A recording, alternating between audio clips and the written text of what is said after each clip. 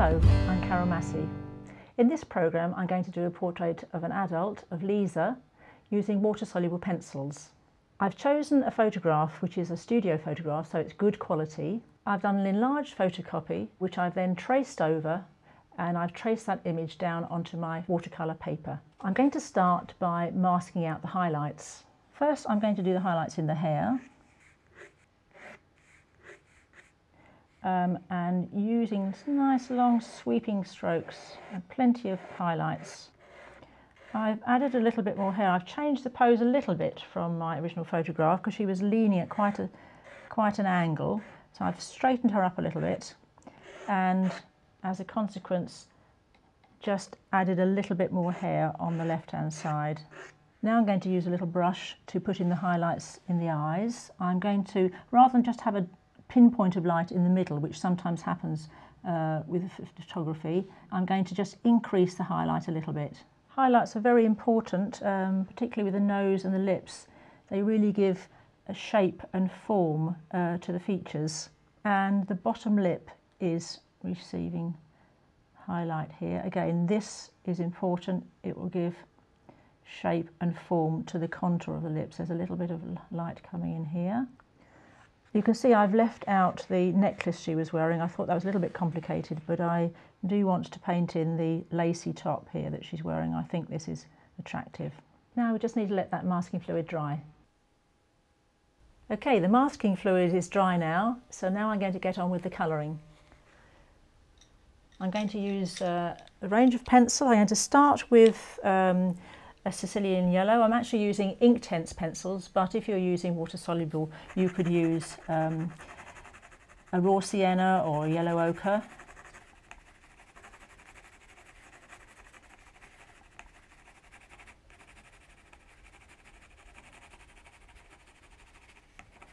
So it's a question of covering uh, fresh tone lightly, sort of with the side of the pencil, not pressing too hard. I've got some highlight on the cheek and a highlight on the forehead there, which I'm going to just sort of avoid slightly. That's the yellow. Now I'm going to go on to the vermilion. It's a good idea to try your colours out first before you commit them to the to your portrait. Um, they can look quite different when you've added the water to how they look in the, in the, in the pencil.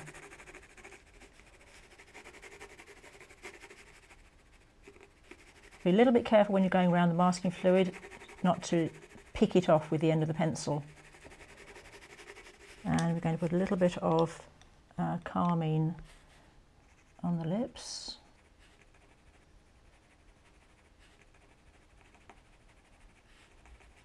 And a little bit of scarlet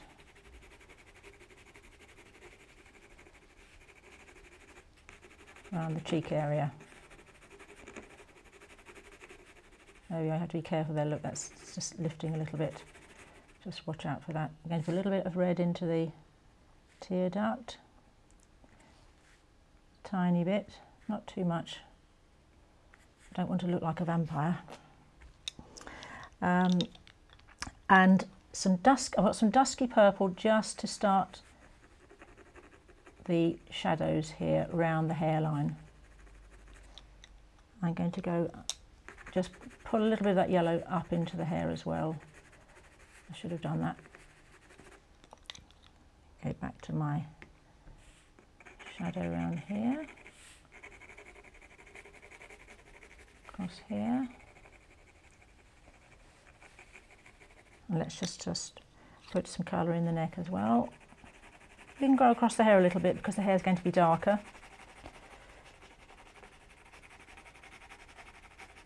And that mid vermilion as well.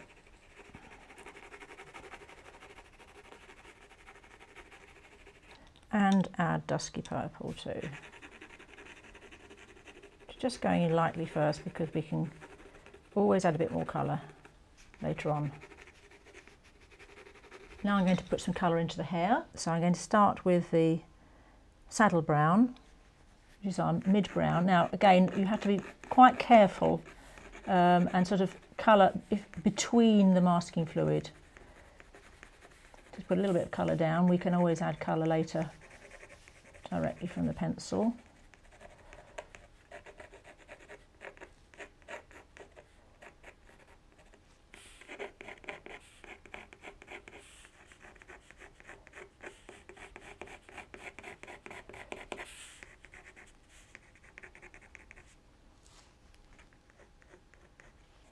A little bit darker here where her sort of a parting.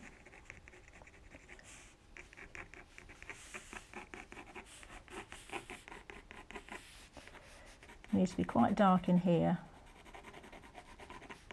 going into her shoulder.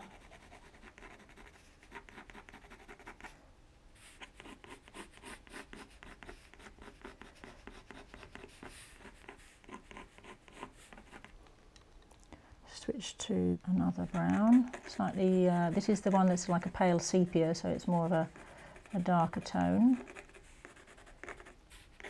Let's come in here as well.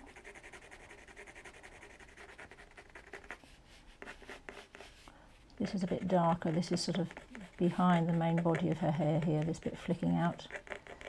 And just use the third brown. So we've got a variety of colours. You don't have to make it all the same colour. Um, to say sometimes hair appears darker in the photograph. Get a nice little colour in it. You can always calm it down afterwards.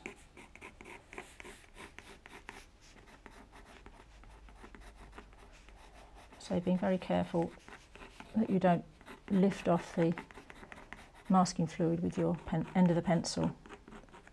Nice sharp pencils, of course. Make sure they're nice and sharp when you use them.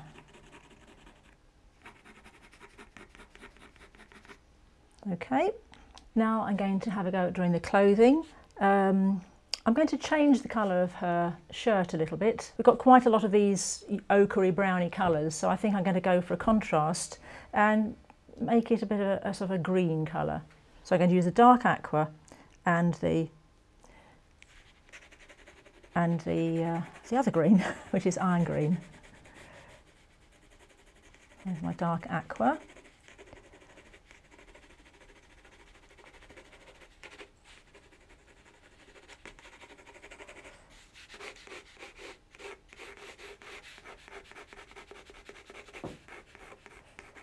Again, I'm using the pencil on the side uh, it's easier to blend it in like this. I don't really want any pencil marks um, apparent. I want it to be a nice sort of uh, soft graded wash. So I'm using the pencil on its side rather than using the point. This is the other green going in now. It's a little bit darker. Let's get some of that dark behind the collar and round through the clothing. A bit darker in here. And a few streaks of uh, deeper indigo to in, just to indicate the creasing.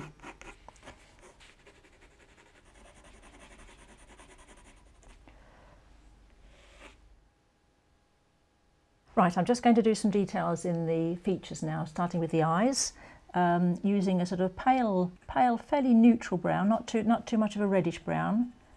Um, this is actually called oak, in the in Inktense, but you could just use a pale brown. Eyebrows, and just drawing in the lid of the eye. And then the eyelashes can be a little bit darker, so we'll go in with sepia.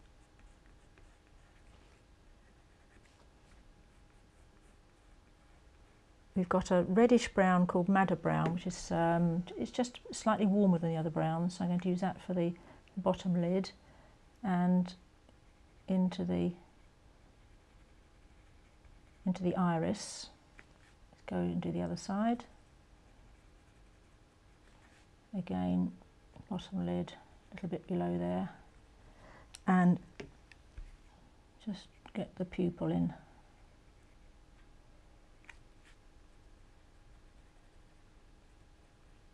Slightly darker line defining the outer edge of the iris there. Define the nose a little bit better and go back in with my madder brown for the nostrils here